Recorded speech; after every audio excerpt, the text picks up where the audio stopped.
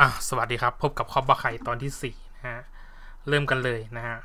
ตัดกลับมาเนี่ยเราก็จะเห็นนะฮะว่าครอบครัวของมิเกล แล้วก็ครอบครัวของแซมเนี่ยนะฮะกินข้าวด้วยกันนะก็เหมือนจะผูกดองกันนั่นแหละ แต่มิเกลก็รู้ว่านะฮะครอบครัวของตัวเองเนี่ยกับครอบครัวของแซมเนี่ยแตกต่างกันเกินไปนะแดนแดนเนียลก็ถามมิเกลนะว่าจะเอายังไงกับชีวิตนะอะมิเกลก็เลยบอกว่าเนี่ยจะเข้าเรียนมหาวิทยาลัยนะแต่แต่แม่ของมิเกลนี่ก็บอกว่าเนี่ยมหาลัยนะมันมันค่อนข้างจะแพงนะ ค่าเรียนเนี่ยแบบแพงมากเลยนะ แล้วก็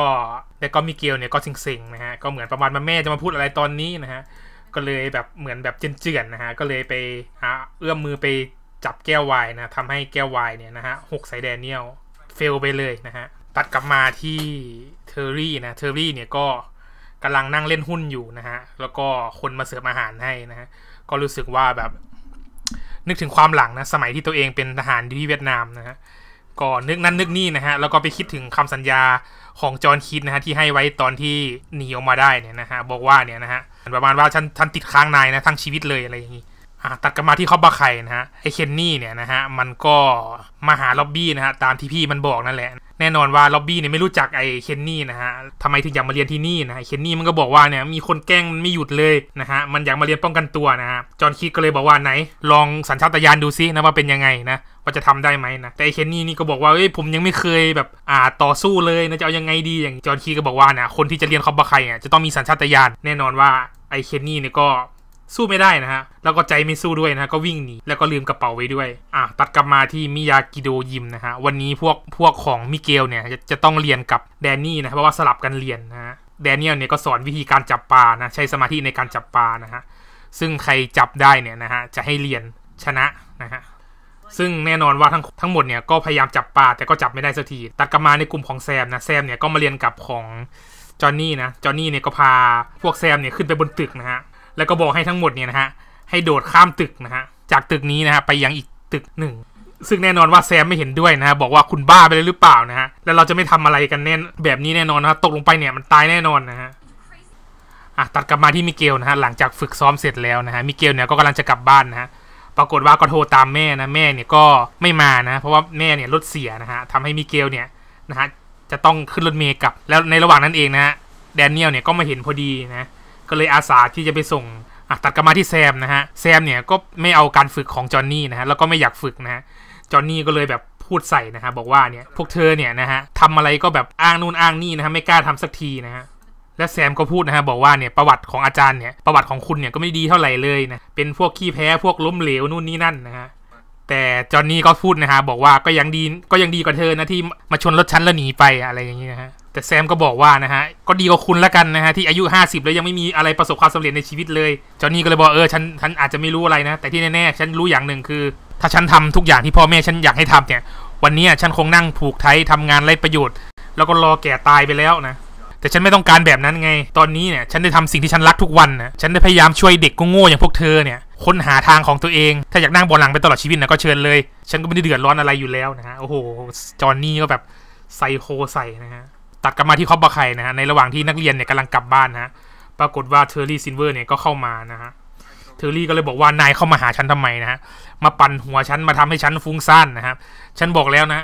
ว่าฉันก้าวข้ามปัญหามาก็มาทำให้ฉันเนี่ยฟุ้งซ่านอะไรอย่างเงี้ยนะฮะมันทำให้ฉันจิตใจไม่สงบสุดท้ายแล้วนะฮะเทอร์รี่ซิลเวอร์ก็ตกลงนะฮะจะเข้าร่วมกับ Cobra Kai อะตัดกลับมาที่เคนนี่นะฮะเคนนี่เนี่ยนะฮะมันลืมกระเป๋าไว้ที่ Cobra Kai นะฮะจอห์นนี่เนี่ย ร็อบบี้เออร็อบบี้เนี่ยกูไม่ได้พูด spoil นานลืมนะร็อบบี้เนี่ยมันก็เลยเอากระเป๋ามาให้นะฮะปรากฏว่าก็คุยไปคุยมานะฮะมันก็บอกว่ามันเนี่ยมันก็ถามไปถามมาเนี่ยร็อบบี้ก็รู้ว่าไอ้เนี่ยนะเป็นน้องของชอนนะฮะไอชอนเนี่ยก็ก็บอกว่าเนี่ยมันเนี่ยที่เข้ามาที่ชอนมันเข้าไปติดคุกเนี่ยก็เพราะมันนี่แหละเพราะว่าเพื่อนมันน่ะจะมาตีตีมันในชอนก็เลยปกป้องนู่นนี่นั่นนะฮะแต่ในระหว่างนั้นเองนะฮะ ล็อบบี้เนี่ยก็เห็นข้อความในโทรศัพท์มือถือนะฮะก็เลยดึงดึงเอามาดูนะฮะปรากฏว่าไอ้เคนนี่เนี่ยนะโดนเพื่อนแกล้งถ่ายคลิปนะฮะแล้วก็ปล่อยลงโลกออนไลน์นะฮะว่ากันเป็นแบบตลกเป็นมีมไปอะไรอย่างนี้นะฮะล็อบบี้เห็นอย่างนี้ก็เลยแบบสงสารนะมะเดี๋ยวจะสอนให้สักท่าแล้วกันนะฮะเอาไว้ป้องกันตัวนะ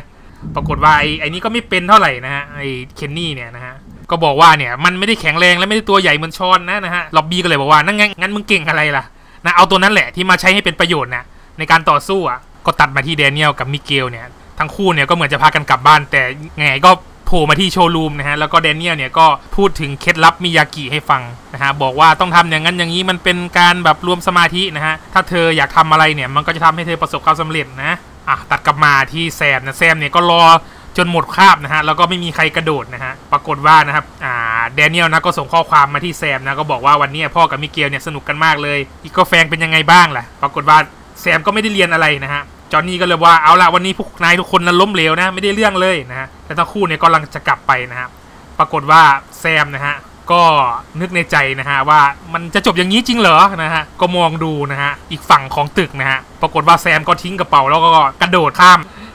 แม่งของจริงแม่งอย่างอย่างอย่างสูงอะปรากฏว่าแซมก็ข้ามตึกนั้นสำเร็จนะฮะพวกมิยากิโดก็พากันดีใจตบมือกันนะฮะ